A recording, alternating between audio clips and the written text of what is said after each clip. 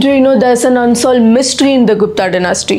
Devi Chandraguptam is a playwright which talks about the conflict between the Guptas and the Kshatrapas and it tells a very captivating story. King Samudragupta had two sons. The eldest one, Ramagupta, is portrayed as an ineffective warrior who's jealous of his younger brother Chandragupta Vikramaditya. In a battle, Ramagupta was captured and imprisoned by Kshatrapa ruler Rudrasimha. To secure his release, he offered his wife Dhruvadevi to the enemy and that caused enormous disgrace to the Gupta dynasty. So Chandragupta, the younger brother, took a daring mission. He dressed himself like the queen Dhruvadevi and got into the enemy's army and killed Rudrasimha. After this incident, Chandragupta Vikramaditya became the emperor and it's believed that he also killed his brother Ramagupta for offering his wife to the enemy. And Gupta coins mention Dhruvadevi as Chandragupta's wife, which indicates he possibly married his brother's widow if the story is accurate.